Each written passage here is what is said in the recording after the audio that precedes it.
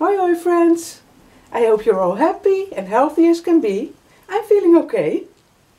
As the title says, I want to talk about tulips today and I'm very excited about it. And if you know me a little bit by now, you will know that I've done some research. I will tell you about the history a little. I want to talk about Castle de Keukenhof and its park. And lastly, I want to show you how I take care of my tulips. And uh, I have a little tip for you. So let's get started. The origin of the tulip lies in Asia and the Middle East, in countries such as Iran and Afghanistan. They now also naturally occur in southern Europe and North Africa.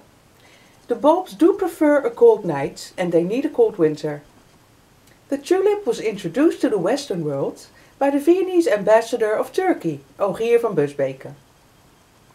He already wrote about the flower in 1551. Later he would send some to Austria. The arrival of a load of bulbs in Antwerp in 1562 marked the beginning of the tulip cultivation. The first documented specimens were planted by the Flemish man Carolus Clusius. He led Hortus Botanicus in Leiden from 1593 on. The Tulipa sylvestris is the only species that occurs in the wild in the Netherlands and has been established since the 19th century. The most cultivated species are grown from the Tulipa gesneria. Fun fact, did you know that the lily was family of the tulip? Ottoman sultans wore a tulip on their turban as a symbol of wealth. The name tulip is derived from the Persian word dolband, which means turban. The Dutch word for turban is tulband. In the Golden Age, which I will for sure talk about in another video, the tulip mania arose. This tulip madness began in 1634 and came to an abrupt end in 1637. Extremely high prices were paid for new bred species, some worth more than a canal house which we call Grachtenpand, in Amsterdam. The black tulip was very popular and people took enormous risks financially. Another very wanted species was the Viceroy. Depending on its weight, it was worth about 3,000 to 4,500 guilders. The yearly salary of, for example, an experienced carpenter was about 300 guilders. Just to put things in perspective. The bulbs would also be traded when they would still be in the ground. People would sign contracts and this is the first described way of speculations in the world. They were traded by auctions mostly and this would happen in inns and cafes. They would make a lot of money by selling beer, wine and simple meals.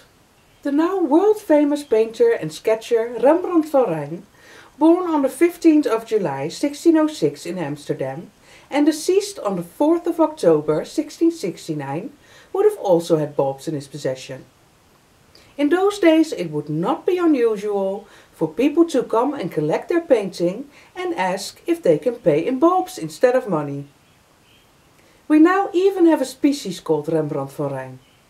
Oddly enough though, there were no or few paintings of tulips made by him. Now you can see Carolus Clusius, the man who led Hortus Botanicus, and this is how that looks now. And this is Rembrandt van Rijn, the famous painter. He made a lot of self-portraits over the years, and these are just a few of them. The painting he is most famous for is the Nachtwacht, or Night Watch. He finished it in 1642. And these are just some I love very much and wanted to show you. Okay, let's go back to the topic of today, the tulip.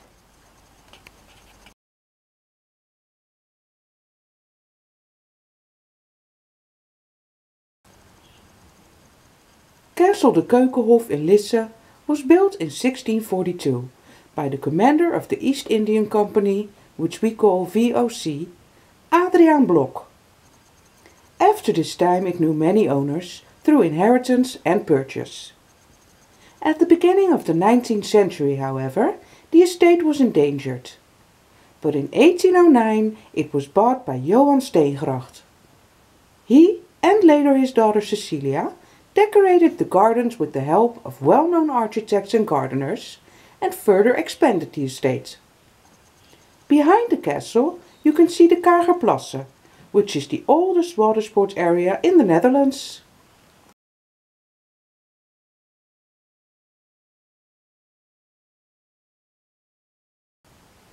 Castle de Keukenhof is located in the bulb region, the Bollenstreek in Dutch. This is the area where the bulb industry started to really take off in the mid-19th century.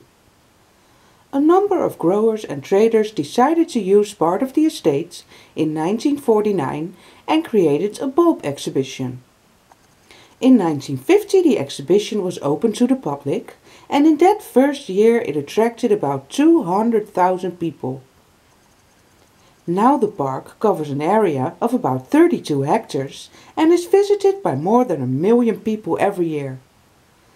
Something I think is pretty amazing because it only opens in the spring. This year it opens on the 24th of March and will close after the 15th of May.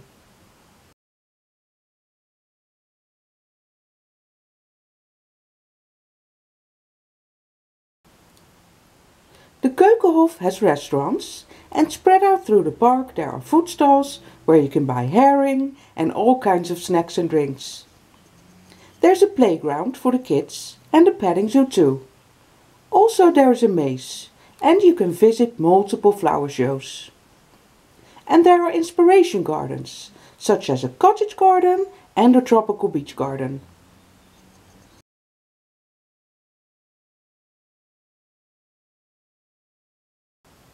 Here you can see how our famous wooden shoes are made these days. And you can buy a pair of your own too, which many tourists do.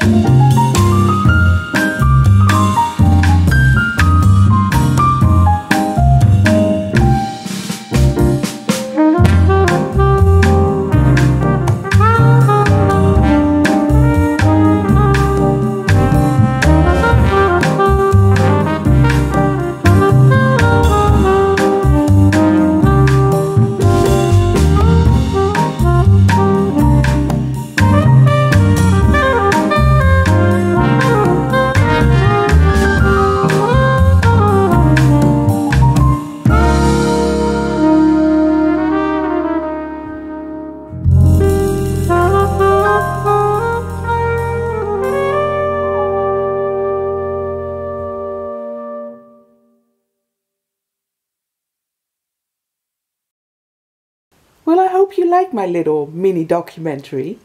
It wasn't sponsored, I swear. Believe me, I could have gone on and on, and I really enjoyed diving into the topic. However, I promised you I would tell you how I take care of my tulips at home, so I will do that now.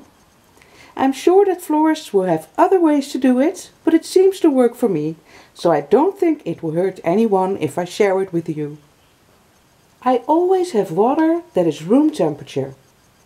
As soon as the can is empty, I fill it up again and put some powder in it. Also, I clean my watering can at times and I would do that with a tiny bit of bleach. That's also how I clean my vases, but I do that every time I had flowers in them.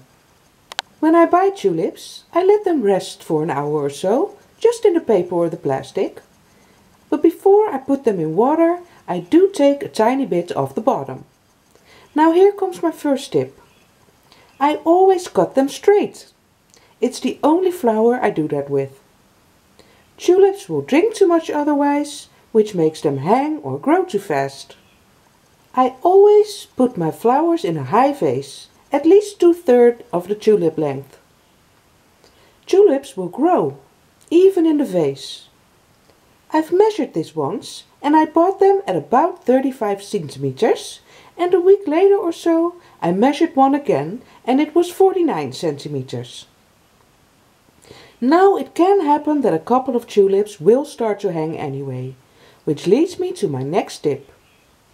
Here, as you can see, the tulips are hanging and what I do is I roll them in newspaper. I leave that overnight and the next morning the tulips will be straight again. For me playing with flowers is still being able to feel nature in a way no, it's not being bare feet on the earth, being grounded like I used to be.